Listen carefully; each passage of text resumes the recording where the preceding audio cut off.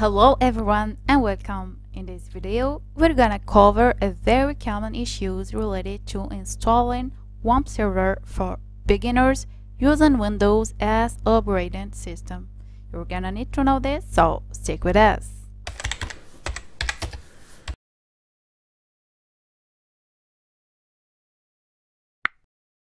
Before going over the installation step, let's know more about WAMP. WAMP is an acronym that stands for Windows, Apache, MySQL, and PHP. It's a software stack which means installing WAMP installs Apache, MySQL, and PHP on your operating system which is Windows. Even though you can install them separately, they are usually bundled up and for a good reason too. WAMP acts like a virtual server on your computer. It allows you to test your code without any consequences since it's localized on your machine and is not connected to the web, which means that you can use WAMP as a safe space to work on your website without needing to actually host it online. So you don't need to wait until files are uploaded to your site and this makes creating backups much easier. Now it's time for the installation, so for that go to the website wampserver.com and then click on the version that matches your operating system. For me it's Server 64. You can download it directly, it's gonna take a few minutes according to your internet speed. Now the installation has successfully completed.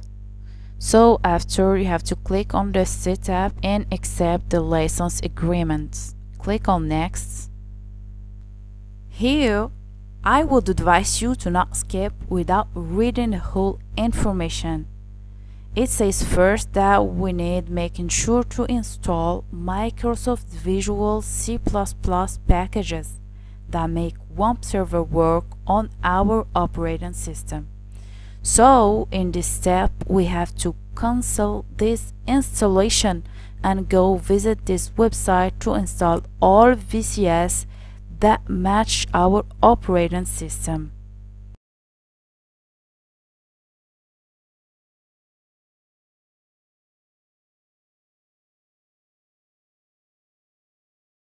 and then restart the installation.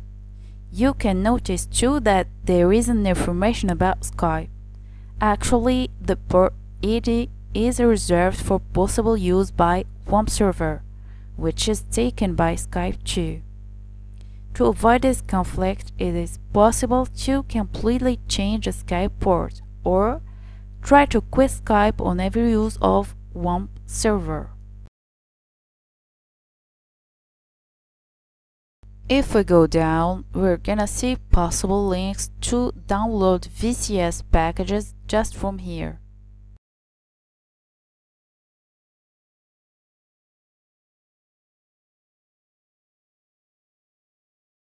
Click on next.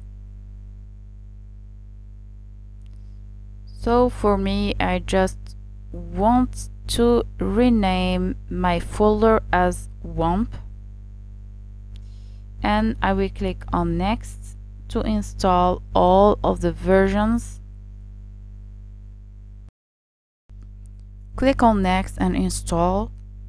It's gonna take a few moments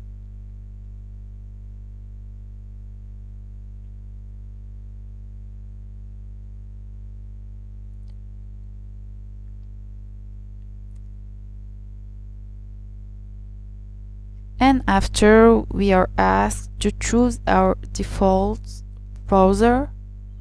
So for me I want to have Chrome as a default browser. I'm going to click on yes. From time to time you will see uh, French words. It's just because I'm using a French version of Windows but I'm going to translate without no problem. So here I'm gonna choose programs and Google and after Chrome and Chrome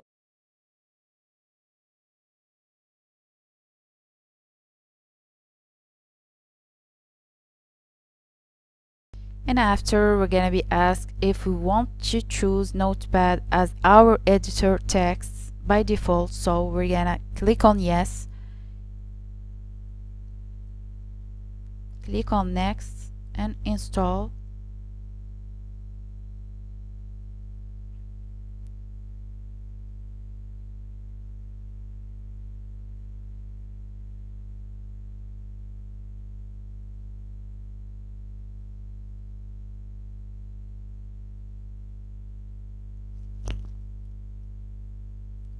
So our installation has successfully completed.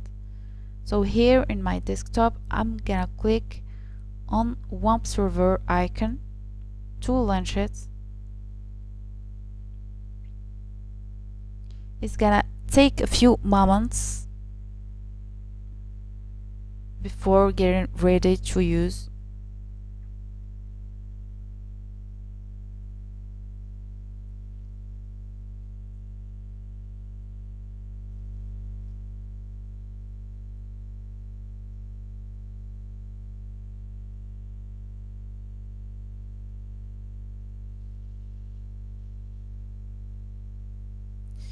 So now we have to make sure that everything works perfectly. So we're gonna click on the icon of WAMP server, which is red for the moment. That means that all servers are down.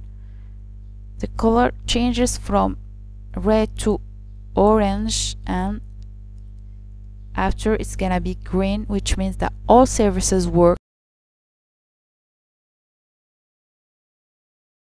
And now it's time to test our localhost in database manager. We're gonna click on localhosts and it works perfectly without any problem because we have this page and we want to make sure that our phpMyAdmin is working as well. So we're gonna click on it and we're gonna be redirected to localhost phpMyAdmin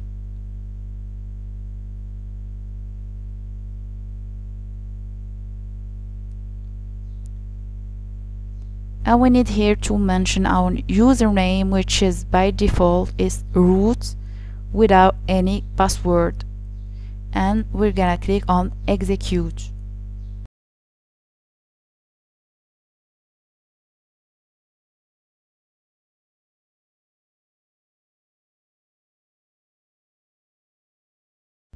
That's it for today. So make sure that you follow all the steps mentioned in this video to have WAMP server successfully installed in your machine.